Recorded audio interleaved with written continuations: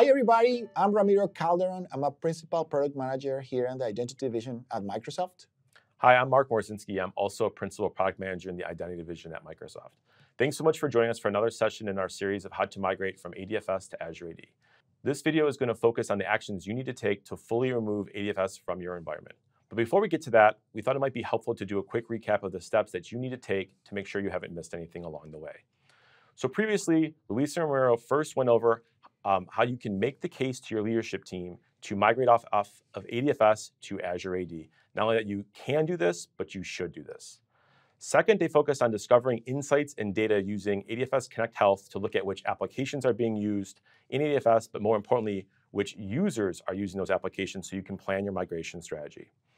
Next, they showed you how you can migrate that first application from ADFS to Azure AD to make sure you get that same single sign-on experience you're getting today, but with Azure AD.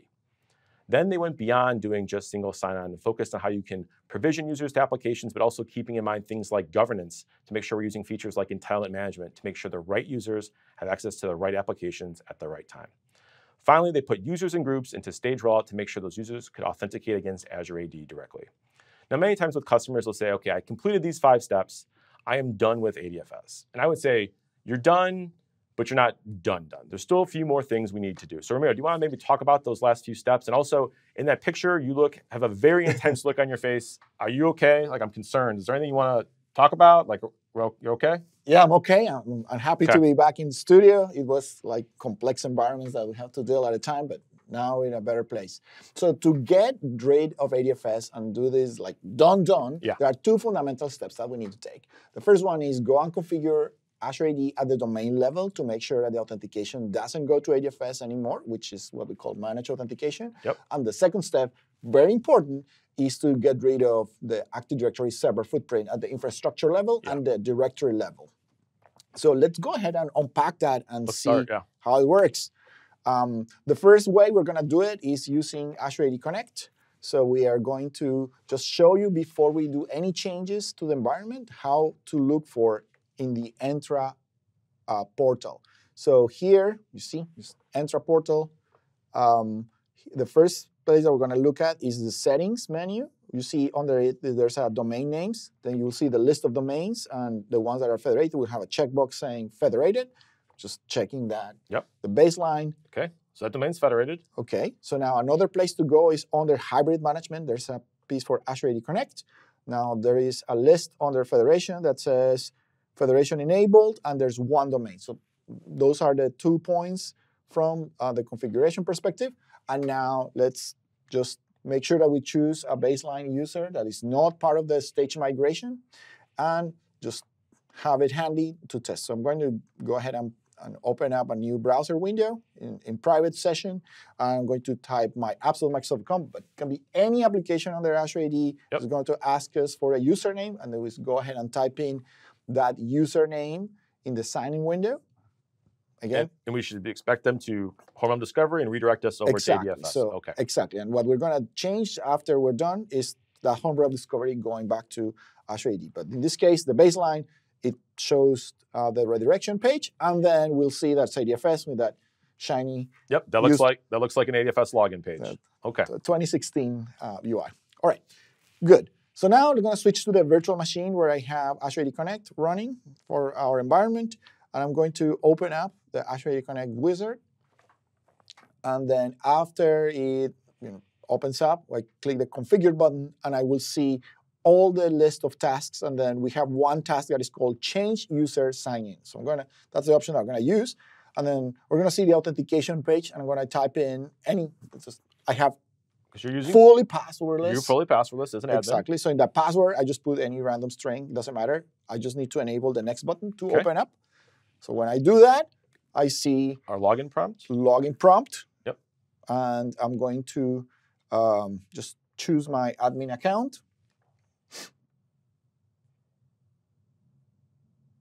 Then since I am passwordless, I'm using pos- uh, a passwordless uh, uh, phone sign-in with the Authenticator app. So I type in that number in okay. my Authenticator app, and then Azure AD is just going to read the configuration and show me the current state. So here, I see that there's a radio button that says Federation with ADFS, which is, again, baseline. I'm going to switch it to what we have recommended, the best yep. practice, password hash synchronization. There's a checkbox at the very bottom that says enable single sign-on. Yeah. So do, do I need that? Because you know, we want to make sure we keep that single sign-on experience when we move from ADFS to Yeah, so um, I'm going to un- uncheck it. I'm going to tell you why. okay. When you use Windows 10 machines or newer that are hybrid Azure AD Join or Azure AD Join, we rely on um, the PRT, the primary refresh token, That's right. which is an accelerated technology that makes this kind of obsolete. Okay. So if all my machines are hybrid Azure AD join or Azure AD join, I don't need to check that box. Exactly. This is mostly for legacy old machines that hopefully most of you already got rid of. Okay. So we go ahead and uncheck that box and go on password hash sync and check on the warning. And then I click next, and then the wizard is doing its thing. I can go and get some coffee and just think Okay. about all the good stuff that I'm going to do once ADFS is out of the environment. And uh, it's done. it's done. That's it. It's, uh, that's it from the admin side. Okay. Now we need to validate the change, and it will take 15 minutes to four hours per documentation to get the change to fully get into effect. So Okay. let's see in the admin portal how that change looks uh, at the end. So in the federation side, again, under Azure AD Connect, it shows zero domains and federation disabled. That's right. That's landmark number one. Um, now let's go again to the same place that I showed before in settings, domain names, and we'll see that the domain is no longer federated. no longer federated. So no federated checkboxes. And then the ultimate test is go back to that application um, that I mentioned before, my apps or whatever. And then when I log in, straight to Azure AD, log into MicrosoftLine.com. That's kind of when you know that you're done, done. You're done done with that part. Okay, so what if I have multiple domains or I want to maybe migrate this in stages or I need to do some scripting or automation? Can I do this with PowerShell? Yeah, exactly. Um, so um, here I'm going to show you how we can do it with the Microsoft PowerShell cross-platform, our latest version of PowerShell. Okay. And I'm also going to use uh, Microsoft Graph uh, PowerShell. So Right. So if you're expecting a Connect MSOL service, you need to take some time to maybe upgrade your scripts to this this news. exactly, we're going to show you the latest and greatest way of doing it. So in this case, I'm going to connect to MG Graph. Okay. And then I'm showing the scopes here. Domain read write all is what we need. And then here, I see a browser popping in. Yep. And uh, in this case, I'm using a privileged access workstation. So I have my FIDO2 key in my USB port. So I'm going to go and choose that credential. And again, passwordless for administrators.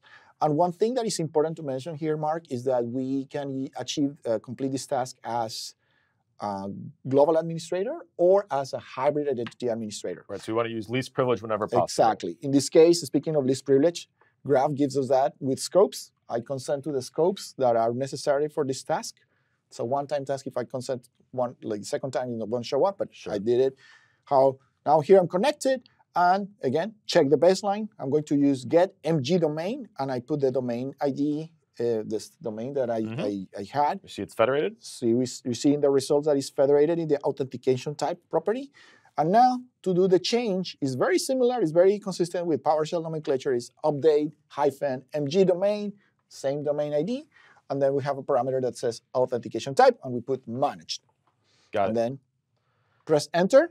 And like all good identity mm-hmm. demos, it's just very anticlimactic, right? Exactly. If nothing happens, that means that uh, yeah, we if nothing good. happens, you did good. Okay. Exactly. So nothing happened nothing happened. And then here, get mg domain to validate it. to Yep. validate the change. Well, actually, something did happen, but we didn't see any Didn't see errors. anything, Didn't see any errors, yeah. right? So then we see the authentication tab is managed when we run the commandlet again, and that's pretty much how it's done.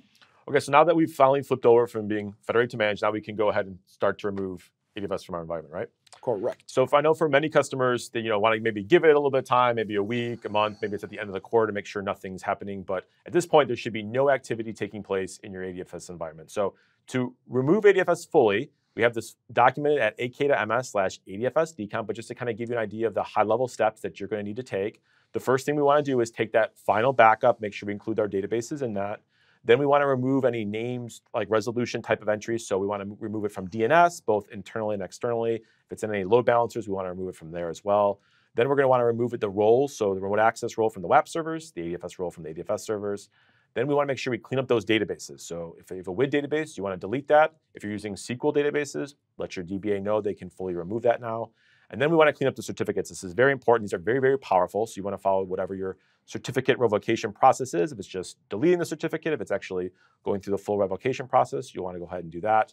And then we're going to do some AD cleanup. So now we can delete the ADFS service account, as well as deleting that certificate sharing container, which was used by the ADFS farm. And at that point, now we are done done with ADFS. It's fully removed from our environment, and you can now follow any other processes you have when it comes to retiring infrastructure. So that could be you know, formatting the disks, the you know, secure delete from a VM, or even I know some customers will actually physically destroy the disks and, and, shred those. So Ramiro, is there anything we missed here that you want to add? No, I think you covered everything, Mark. The one thing I really want to emphasize is get rid of that service account and the certificates because yeah. they are very, very powerful. In fact, uh, we uh, consider ADFS a tier zero system, yeah. so it's very important that you make sure that all footprint of that powerful system is gone from the environment. All right, well, that's the end of this video. Thanks so much for watching. For any additional resources you may need, go to aka.ms slash ADFS to AAD, and thanks for watching. Thank you, everybody.